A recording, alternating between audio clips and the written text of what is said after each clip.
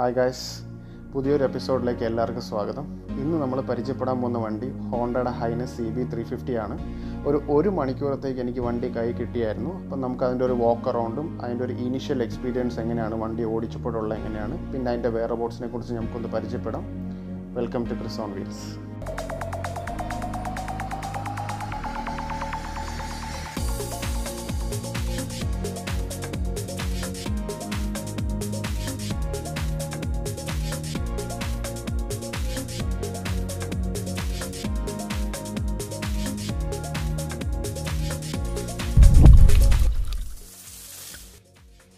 guys ഇതിന്റെ ഫ്രണ്ടിൽ design എലമെന്റിലോട്ട് വരുമ്പോൾ ആദ്യമേ ലൈറ്റിൽ നിന്ന് തന്നെ തുടങ്ങാം. ഇതിന്റെ ലൈറ്റ് എന്ന് പറയുമ്പോഴത്തേക്കും എല്ലാം എൽ ഇ ഡി ലൈറ്റാണ് ഹെഡ് ലൈറ്റും ടെയിൽ ലൈറ്റും ഇൻഡിക്കേറ്റേഴ്സും എല്ലാം എൽ ഇ ഡി ലൈറ്റാണ് വരുന്നത്. ഗൈസ് ഇതിന്റെ ഫ്രണ്ടിലെ രണ്ട് ഇൻഡിക്കേറ്ററിന് ഒരു പ്രത്യേകത കൂട്ടുണ്ട് ഇത് ഡി ആർ എൽ ആയിട്ടും വർക്ക് ചെയ്യും. ഈ എഞ്ചിൻ ഓണാക്കി കഴിഞ്ഞാൽ ഇത് ഫുൾ ടൈം ഇങ്ങനെ ആയി കിടക്കും.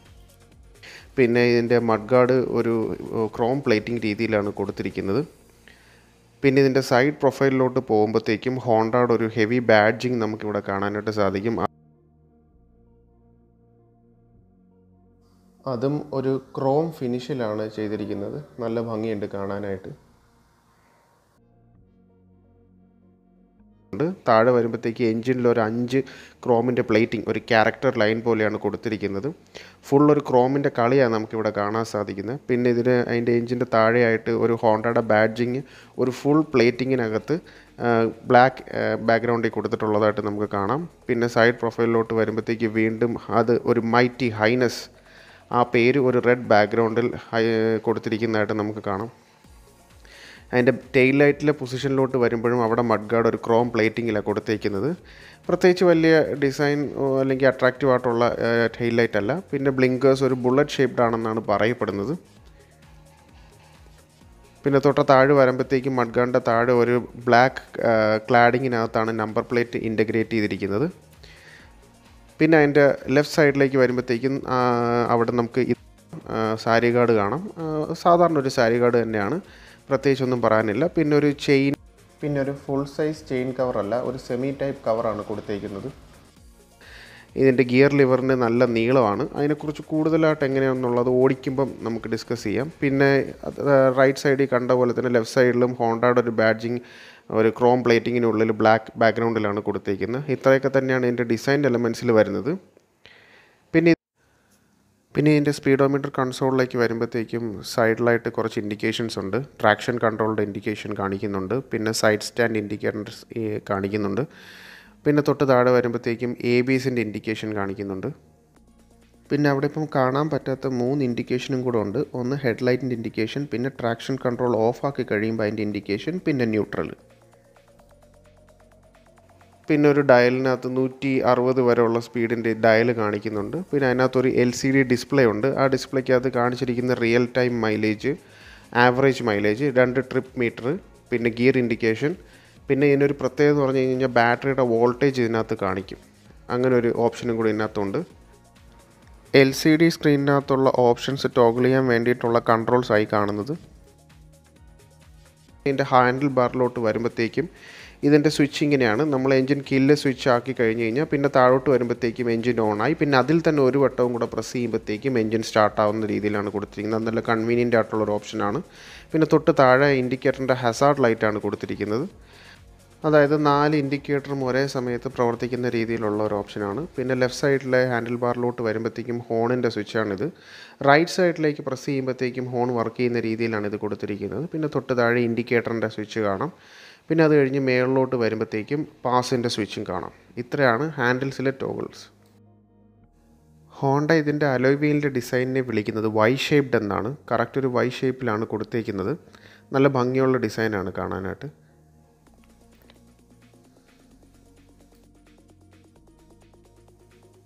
Three ten M M single disc ആണ് ഫ്രണ്ടിൽ വരുന്നത്. ഹൺഡ്രഡ് ബൈ നയന്റി നയന്റീൻ ഇഞ്ചാണ് ഫ്രണ്ടിലെ ടയറിന്റെ size. ബാക്കിലാണെങ്കിൽ two forty M M single ഡിസ്കും one thirty by seventy eighteen ഇഞ്ചാണ് ടയറിന്റെ സൈസ് ഇനി നമുക്ക് വണ്ടി ഒന്ന് ഓടിച്ചു നോക്കാം.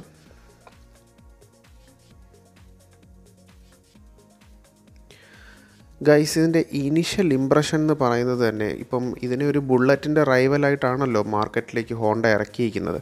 അപ്പോൾ എന്റെ മനസ്സിലും ചെറിയൊരു ഐഡിയ ഉണ്ടായിരുന്നു. നമുക്ക് ഏതാണ്ട് അത് അതിനോട് സിമിലർ ആയിട്ടുള്ള ഒരു ഫീൽ ആയിരിക്കും കുറച്ചുകൂടെ റിഫൈൻഡ് ആയിട്ടുള്ള എന്നുള്ള ഹോണ്ട ആയതുകൊണ്ട് ആ സെയിം ഫീലും പിന്നെ കുറച്ച് ഹോണ്ടയുടെ ഒരു റിഫൈൻമെന്റും കൂടെ ചേർന്നിട്ടുള്ള ഒരു ഒരു പാക്കേജ് ആയിരിക്കും ഇതാണെന്നാണ് ഞാൻ വിചാരിച്ചിരുന്നത്. പക്ഷേ എന്റയർലി ഡിഫറെന്റ് ആയിട്ടുള്ളൊരു ഫീലാണ് ഇത് നമ്മൾ ആദ്യമേ നമുക്ക് കിട്ടുന്നത്. ഓടിക്കുമ്പോഴത്തേക്കും ഇതിലെടുത്ത് പറയാനുള്ളതെന്ന് പറഞ്ഞു കഴിഞ്ഞാൽ ബട്ടറി സ്മൂത്ത് ആയിട്ടുള്ളൊരു പെർഫോമൻസ് ആണ്. ശരിക്കും പറഞ്ഞാൽ റോഡിൽ കൂടെ ഒഴുകി പോകുന്ന പോലെയാണ് നമുക്ക് തോന്നുന്നത്. ഭയങ്കര സ്മൂത്താണ് അത് നമുക്ക് ഈ എൻജിന്റെ ഭാഗത്തു നിന്നോ അതിന്റെ ഫുഡ് പെക്സിലോ ഹാൻഡിൽ ബാറിലോ ഒന്നും ഒരു തുള്ളി പോലും വൈബ്രേഷൻ നമുക്കറിയത്തില്ല സ്മൂത്തായിട്ടാണ് പോകുന്നത്. പിന്നെ ഇതിന് തുടക്കത്തിൽ നമുക്ക് ഒരു ലോ റേഞ്ചിൽ നമുക്ക് ടോർക്കിന് ചെറിയൊരു കുറവ് കാണുന്നുണ്ട്. അതുകൊണ്ട് തന്നെ സിറ്റിയിൽ കൂടുതലായിട്ട് ഓടിക്കുമ്പോഴത്തേക്കും ഗിയർ ഷിഫ്റ്റ്സ് കൂടുതലായിട്ട് വരുന്നുണ്ട്.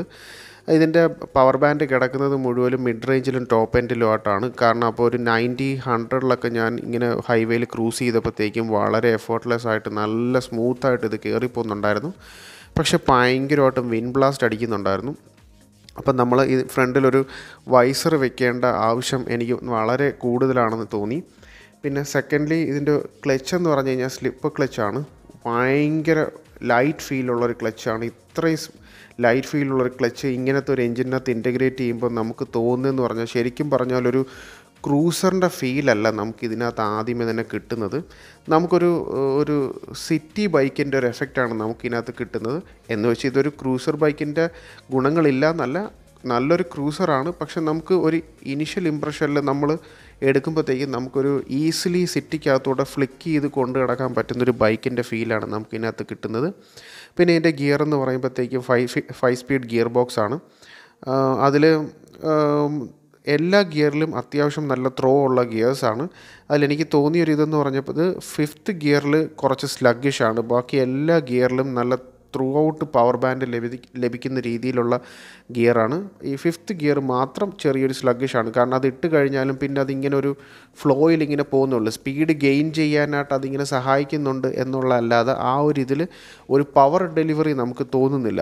അപ്പോൾ അതുകൊണ്ട് ഗിയേഴ്സ് എല്ലാം പ്രോപ്പർലി മെയിന്റെയിൻഡ് ആണ്. കറക്റ്റ് ക്രിസ്പായിട്ടാണ് വരുന്നത്. ഇത്രയും ഞാനൊരു പത്ത് ഇരുപത്തഞ്ച് കിലോമീറ്ററോളം ഞാനിത് ഓടിച്ചു. അതിന്റെ ഇടയിൽ എനിക്ക് ഒരു വട്ടം മാത്രം ചെറിയൊരു ഫോൾസ് ന്യൂട്രൽ വീണിട്ടുണ്ടായിരുന്നു. പക്ഷേ അത് എന്റെ ഭാഗത്തു നിന്നുള്ളൊരു തെറ്റായിരുന്നു. ഞാൻ കറക്റ്റായിട്ട് അത് ജഡ്ജ് ചെയ്യാത്തതിന്റെയാണ്. ഗിയർ എല്ലാം ക്രിസ്പാണ്. പിന്നെ ഞാൻ പറഞ്ഞ പോലെ ഈ ഗിയറിന്റെ ലിവർ അല്പം നീളം കൂടുതലുള്ള പോലെ എനിക്ക് നേരത്തെ തോന്നിയായിരുന്നു. അതെനിക്ക് ചിലപ്പോൾ ഒരു പ്രോബ്ലമായി വരും എന്നെനിക്ക് തോന്നിയായിരുന്നു. പക്ഷെ അങ്ങനെയൊന്നുമില്ല അത് ഒരു പ്രശ്നമായിട്ടേ തോന്നിയില്ല. പ്രോപ്പറായിരുന്നു പിന്നെ കുറച്ച് ബാഡ് റോഡ്സിൽ കൂടെ ഒക്കെ ഞാനൊന്ന് ഓടിച്ചായിരുന്നു. അപ്പോഴത്തേക്ക് അതിന്റെ ഈ റോഡിലുള്ള കുണ്ടും കുഴികളൊക്കെ നല്ല ഡീസന്റായിട്ട് ഇത് അബ്സോർബ് ചെയ്യുന്നുണ്ടായിരുന്നു. നമുക്ക് ഒരു രീതിയിലുള്ള ഡിസ്കംഫോർട്ട് ഈ വണ്ടിയിൽ ഉണ്ടാക്കി.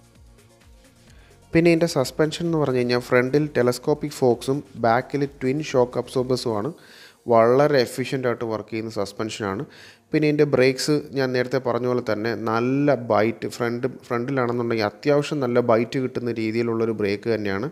ക്രിസ്പാണ് ഇതിന്റെ ബ്രേക്സ് എല്ലാം.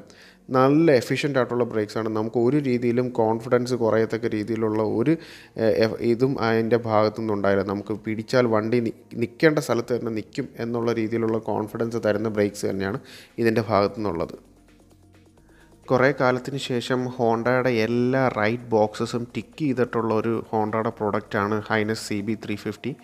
കാരണം ഇതിനൊരു ട്രാക്ഷൻ കൺട്രോളൊക്കെ ഹോണ്ട കൊടുത്തിട്ടുണ്ട്.